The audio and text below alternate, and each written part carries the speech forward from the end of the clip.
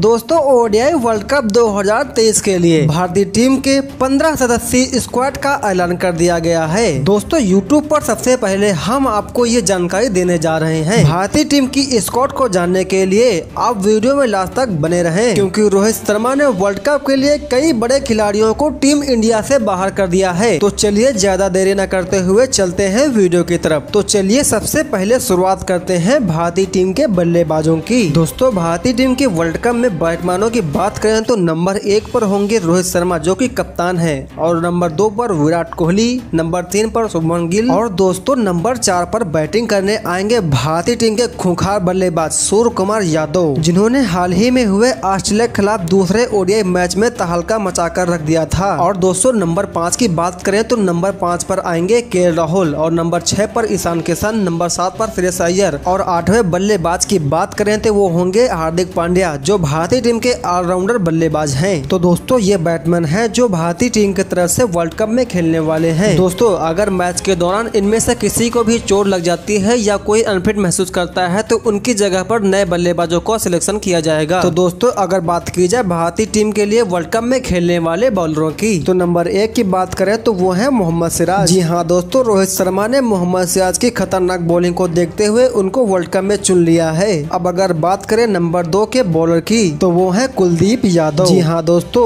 रोहित शर्मा और राहुल द्रविड़ ने मिलकर कुलदीप यादव को चुन लिया है, क्योंकि कुलदीप यादव जहाँ पर होंगे, वहाँ पर मैच तो मुट्ठी में रहता है, क्योंकि कुलदीप यादव ने एशिया कप मैच के दौरान बहुत ही खतरनाक प्रदर्शन किया था और उनका नाम वर्ल्ड रिकॉर्ड में शामिल हो गया है। अब बात करते हैं नंबर तीन के बॉलर की तो वो है अक्षत पटेल। जी हाँ दोस्तों, भारतीय टीम के लिए वर्ल्ड कप में खेलने वाले तीसरे गेंदबाज चुने गए हैं अक्षत पटेल। और अगर बात की जाए नंबर चार के बॉलर की तो वो है मोहम्मद समी। और अगर बात की जाए पांचवे गेंदबाज की तो वो है सादुल ठाकुर। जी हाँ दोस्तों, सादुल ठाकुर को वर्ल्ड कप में खेलने के लिए चुन लिया गया है। और दोस्तों, भारतीय टीम के दो ऑलराउंडर बल्लेबाज जो हर मैच में खेलने वाले हैं, वो है हार्दिक पांड्या और अक्षत पटेल। और दोस्तों, नंबर छह के बॉलर की बात की जाए तो वो है रविंद्र जडेजा। और दोस्तों, नंबर सात के बॉलर की बात की जाए तो वो है बुमराह। अगर वो फिट हो जाते हैं तो उनको टीम इंडिया में ले लिया जाएगा, क्योंकि बुमराह अभी तक सही से फिट नहीं हो पाए हैं। दोस्तों, इस बार वर्ल्ड कप भारत में ही खेला जाएगा और वर्ल्ड कप का पहला मुकाबला पाँच अक्टूबर से खेला जाना है और इसमें भारतीय टीम के बल्लेबाज फुल फॉर्म में चल रहे हैं। तो क्या दोस्तों, आपको लगता है भारतीय टीम इस बार इस वर्ल्ड कप को अपने नाम कर पाएगी? तो दोस्तों, भारतीय टीम की पंद्रह सदस्यीय टीम इस वर्ल्ड कप को क्या जीत पाएगी? अपने राय कमेंट सेक्शन में ज़रूर बताइएगा। और जानकारी अच्छी लगी है तो इस वीडियो को लाइक ज़रूर करते। मिलते हैं नेक्स्ट वीडियो में ऐसी अपडेट के साथ।